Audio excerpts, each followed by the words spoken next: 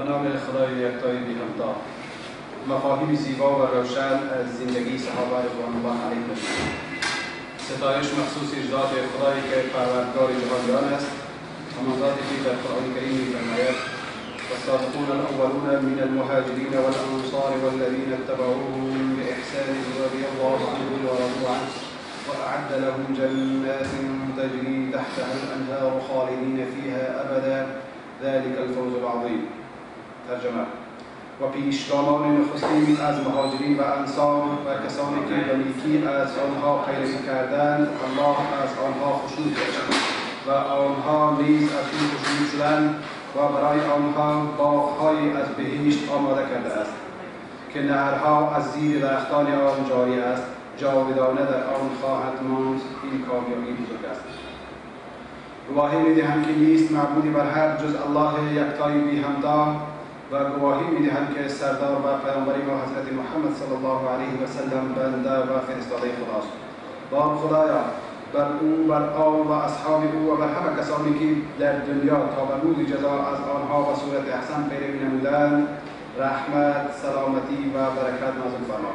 اما بعد. اما خداوند متعال پیامبران و فرستادگان خود را از میان مخلوقات خود برگزیده است چنانچه میفرماید. ترجمه. الله از فرشتگان رسولانی را برمیگزیند و نیز از مردم.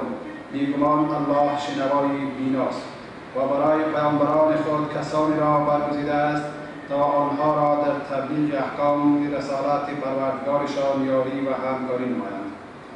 و براسته خداوند متعال جل جلاله برای آخرین پیامبر خود حضرت محمد صلی الله علیه و سلم مردانی باقتینت و یارانی برتر و بهتری برگزیده و آنها با او ایمان آوردند او را گرامی داشتند او را یاری دادند و از نوری که با او نازل شده بود پیروی نمودند. عبدالله بن مسعود رضی الله عنه می‌گوید ما را خداوند متعال در قلوب بندگان خود نظر انداخت. سپس حضرت محمد صلی الله علیه و سلم را برگزید و با رسالت خود فرستاد و او را به علم خود انتخاب نمود. سپس بعد از او در دل بندگان خود نظر انداخت پس برای او یارانی برگزید و آنها را یاری دهندگان دین خود و وزرای نبی خود گردانید.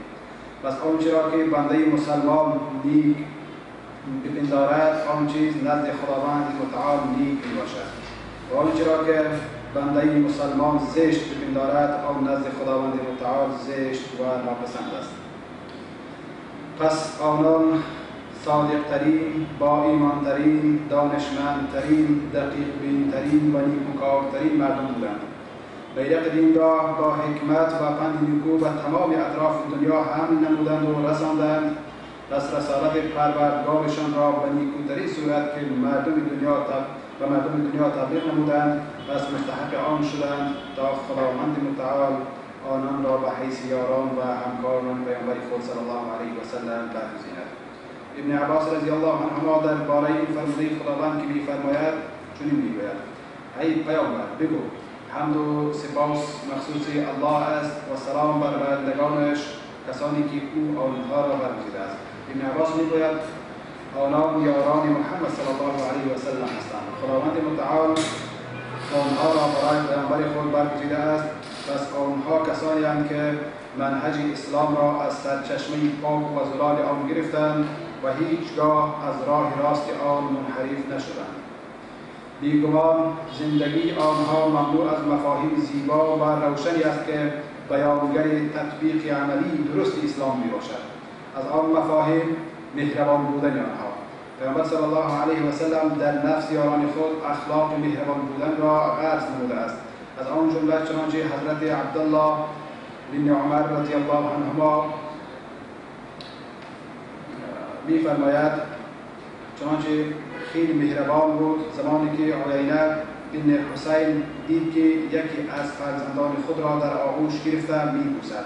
عینه به او گفت فرزندت را میبوسی در حالی که تو امین مؤمنان هستی.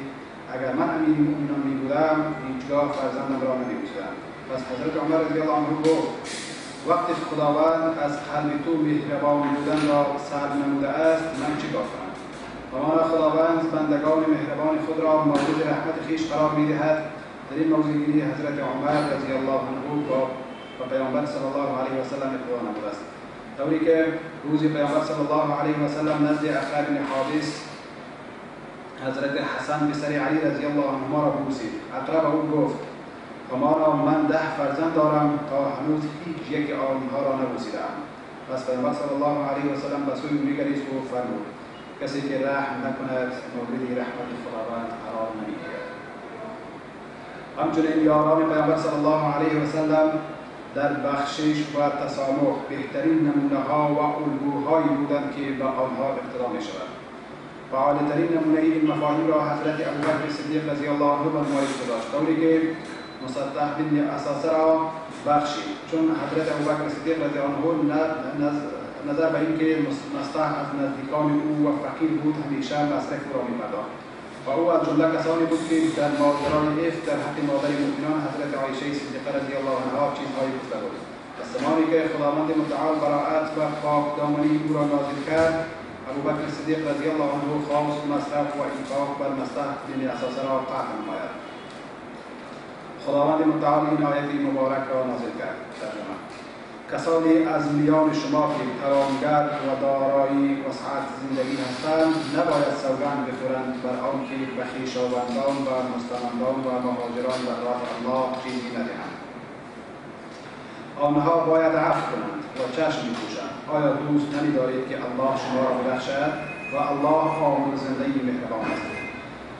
پس حضرت ابوبکر صدیق رضی الله عنه گفت بله سوگند به الله همانا من خیلی دوست میدارم تا پروردگارم مرا ببخشد و دوباره در مصلح انفاق نمود و گفت سوگند به الله هیچگاه انفاق بر أو را قطع نمیکنم و برخی دیگر از مفاهیم عالی که یاران پیامبر صلی الله علیه و سلم بر آن متصف بودند بلند همتی و رقابت بر انجام کار نیکی در واقع صحابه کرام از پیامبر صلی الله علیه و سلم بلند همتی رقابت و مسابقه بر انجام کارهای نیک و خواهشی رسیدن به مدارج عالی امور را آموخته بود طوری که پیامبر صلی الله علیه و سلم میفرماید وقتی از خداوند متعال چیزی میخواستید فردوس اعلی را بخواهید.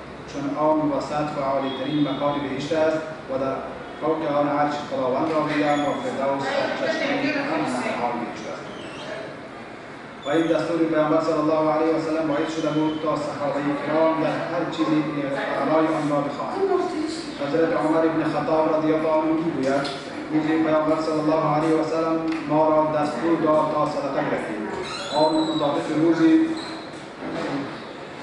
بود که نزد من مالی بود پس به خود گفتم اگر روزی بتوانم از ابوبکر پیشی بگیرم همین روز خواهد بود. پس نیمی مالم را آوردم و پیامبر صلی الله علیه و سلم برایم گفت برای اهل خانواده چی گذاشته ای؟ گفتم مثل آن را. می‌گوید ابوبکر صدیق رضی الله عنه همه آنچه از اموال و دارایی که داشت را آورد. پیامبر صلی الله علیه و سلم برایش گفت برای اهل و فامیل چی گذاشته گفت برای آنها خدا و پیامبرش را گذاشتم. گفت هیچگاه گفتم هیچگاه و هیچ چیزی از او سبقت گرفتن نمی‌توانم. و صحابه جلیل القدر کعب اسلمی رضی الله عنه می‌گوید شبی را با پیامبر صلی الله علیه و سلم سپری می‌کردم پس هنگام قضای حاجت و وجود گرفتن نزدش آمدم برایم گفت. چیزی بخواه گفتم ما می‌خواهم در بهشت نزدیک و رفیقت باشم. فرمود و چیزی دیگر غیر از آن. گفتم تنها آنچه را می‌خواهم که گفتم. فرمود پس مرا در نفس خود با کسرت سجود بخواه و برخی دیگری مفاهیم عالی فداکاری و پاکدامنی است. انصار زیباترین نمونه و الگوی فداکاری بودند ابی هریره رضی الله عنه میگوید روزی مردی نزد پیامبر صلی الله علیه و سلم آمد و گفت ای رسول خدا سخت در مشکلات و گرسنگی قرار دارم. پس پیامبر صلی الله علیه و سلم کسی را نزد همسران خود فرستاد تا چیزی بیاورد ولی نزد آنها چیزی پیدا نکرد. پس پیامبر صلی الله علیه و سلم فرمود آیا مردی پیدا می شود این شب او را میهمان کند تا مورد رحمت خدا قرار گیرد؟ مردی از انصار برخواست و گفت ای رسول خدا من امشب او را مهمان می کنم. پس نزد اهل خود رفت و به همسر خود گفت امشب میهمانی رسول الله صلی الله علیه و سلم میهمان ما است. هرچه از غذا دارید در خدمت او قرار بده همسرش گفت سوگند به الله جز غذای امشب فرزندان ما را ندارم گفت وقتی فرزندان ما غذای شب خواستند خوابشان بده و بیا و چراغها را خاموش کن و امشب شکممان را میبندیم پس همسرم چنین کرد و آنچه که داشت را به مهمان تقدیم نمود سپس در صبح آمد نزد رسول الله صلی الله علیه و سلم رفت. پیامبر صلی الله علیه و سلم گفت و ما خداوند متعال در حال فلان مرد و زن تعجب نمود. پس خداوند جل جلاله این آیت را نازل کرد و آنها را بر خود مقدم می‌دانند هرچند خودشان نیازمند باشند.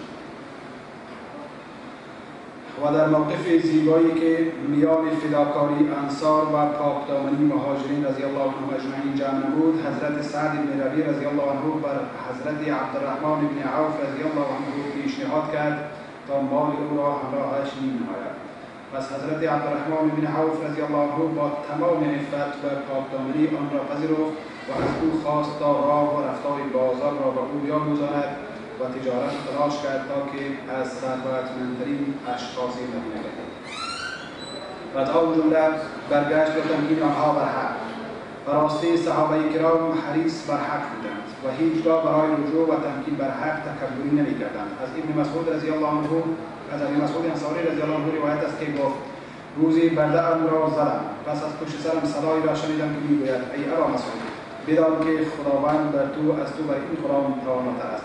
دیدم که رسول الله صلی الله علیه و سلم است.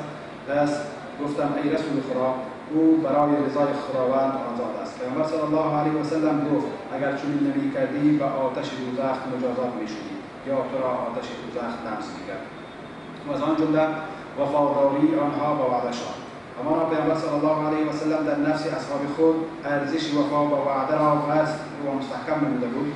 و آنان را بر التزام به آن وامی داشت می‌بینیم که حضرت معاویه بن ابی سفیان رضی الله عنهما این مفهوم را عملا تطبیق می‌کند. چنانچه او با رومی ها پیمان داشت پس حضرت معاویه رضی الله عنه فکر کرد تا به حدود نزدیکی روم برود. وقتی موعد سفر در رسید پس یکی از اصحاب پیامبر صلی الله علیه و سلم در حالی که به آنها پیوست گفت الله اکبر الله اکبر وفا با وعده لازم است نه پیمان شکنی. پس دیدم که او عمر امر بن عبسه رضی الله عنه است. حضرت معاویه رضی الله عنه او را نزد خود خواست و در این باره از او پرسید. او گفت از پیامبر صلی الله علیه و سلم شنیدم که میفرمود. کسی که با قومی پیمان داشته باشد پس نباید پیمان شکنی کند یا این پیمان را منحل بسازد. مگر اینکه یا مدت این پیمان به سر آید یا هر دوی آنها با هم آن را منحل سازد. پس حضرت امام معاویه رضی الله عنه از قرارش برگشت. ستایش مخصوص ذات خدایی که پروردگار جهانیان است. گواهی می‌دهم که نیست معبودی بر حق جز الله یکتای بی همتا و گواهی می‌دهم که سردار و پیامبر ما حضرت محمد مصطفی صلی الله علیه و سلم بنده و فرستاده خداست. آن خدایا بر او بر همه آن و اصحاب او و کسانی که تا روز جزا از آنها به وجه احسن پیروی نمودند رحمت سلامتی و برکت نازل فرما برادران مسلمان براستی اصحاب رسول الله صلی الله علیه و سلم بهترین سرمشق پاک برای ساختار دنیا و دین بودند. هر کدام آنها عمل مشخصی داشتند که آن را درست دقیق و با اتقان انجام میدادند. پس برخی آنان بازرگان بودند و برخی دیگری رهبر و شمار دیگری علما و دانشمندان و این چنین دیگر وظایف پیامبر صلی الله علیه و سلم فرمود مهرة شخص و امتم أبو بكر وشريك ترين آنها در تطبیق دین خداوند عمر وصادق و با حیاترین آنها عثمان و دانشمندترین آنها در حلال حرام معاذ بن جبل قاري آنها به کتاب الله أبي و دانشمندترین آنها به علم برای زید بن ثابت است. برای هر امت امین است و امین این امت ابو عبیده بن جراح می باشد اعمال صحابه رضوان الله علیهم اجمعین فواید و پیامدهای خوبی داشته است. و پیامبر صلی الله علیه و سلم آنها را بر انجام کار تشویق می‌کرد و هر یک آنان را با آنچه که درست و دقیق می‌دانست تذکر می‌داد. او و عمل او را تکریم می‌کرد و از آنچه از آن جمله که از حضرت عثمان بن عفان رضی الله عنه در روز غزوه تبوک واقع شد. چون با هزار دینار آمد و آن را در اختیار پیامبر صلی الله علیه و سلم قرار داد پس پیامبر صلی الله علیه و سلم گفت عثمان پس از این کار هیچگاه زیاد نمی‌کند و برخی دیگر آن تفکر پیرامون کار و روزی حرام و نازل دانستن خداوند متعال در همه امور چنانچه ثابت است که حضرت جریر جریر بن عبدالله رضی الله عنهما عنه خادم خود را دستور داد تا برای او اصلی بخرد. پس برای او یک اسب را به 300 درهم خرید و اسب را با صاحبش آورد تا بهای آن را بپردازد حضرت جلیل به صاحب اسب گفت اسب دو بهتر از آن است که به 300 درهم بفروشی آیا آن را به 400 درهم میفروشی صاحب اسب گفت درست است فروخت باز گفت اسب دو بهتر از آن است که 400 درهم آیا 500 درهم میفروشیم و همچنین همیشه هر بار 100 درهم افزود تا اینکه به 80 درهم رسید و این قیمت آن خرید. خصوص برایش چیزهایی گفته شد او گفت من با رسول الله صلی الله علیه و سلم بیعت نمودم تا برای هر مسلمان مفید و نصیحت باشم. از هر یک آنها مسئولیت خیش را می شناختند و آن را واجه احسان ادا می کردند و از حد خود تجاوز نمی کردند چنانچه حضرت ابوبکر صدیق رضی الله عنه حضرت عمر بن خطاب را به حیث قاضی برگزید پس مدت یک سال حضرت عمر رضی الله عنه در این وظیفه خدمت کرد. در این مدت هیچ کس نزد او برای دادخواهی نیامد. از حضرت ابوبکر صدیق رضی الله عنهما خواست تا او را از این وظیفه معاف نماید. از حضرت ابوبکر برایش گفت ای عمر آیا از مشقت و سختی قضا استعفا می‌دهی؟ حضرت عمر رضی الله عنه گفت نخیر ای خلیفه رسول خدا بلکه مسلمانان و من هیچ نیازی ندارند چون هر یک آنها حق خود را می‌شناسند و بیشتر از آن نمی‌خواهند. همچنین با جایی و مسئولیتهای خیش را می‌دانند و در ادای آن هیچ گونه تقصیر و کوتاهی نمی‌کنند هر کدام آنها برای برادر خود آنچه را میپسندد که برای خود میپسندد. وقتی یکی آنها قایب شود و پرسش و تعقیب آن اگر بیمار شود او را عیادت می‌کنند اگر نیازمند شود کمک یاریش می‌کنند اگر محتاج باشد همکاریش می‌کنند وقتی به مصیبت دچار شود اذیتش می‌گویند دین آنها نصیحت و اخلاقشان امر معروف و نهی از منکر است. پس چرا باید خصومت کنند چرا باید خصومت کنند بدانید چقدر ما نیازمند هستیم تا دوباره به اخلاق این سرنشت های از یاران پیامبر صلی الله علیه وسلم و اخلاق آنها سرچشمه بگیریم و دین مقدس اسلام را به صورت درست و زیبا که دین رحمت مهربانی گذشت انسانیت و صلح و آرامش برای همین مردم است به نمایش می‌گذاریم با خدایا میهن ما ملت ما ارتش ما و پلیس ما را حفظ کن. مصر و همه کشورهای جهان را آرام و متقدم بگردان آمین. رب العالمین